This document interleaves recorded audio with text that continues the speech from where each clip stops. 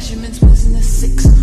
I like a side of the pickle. I just got Morty and Rick. He got me horny and ripped. Uh, like I just walked out the gym and the bitches just got it cause I took their gym. Give him a job and he ain't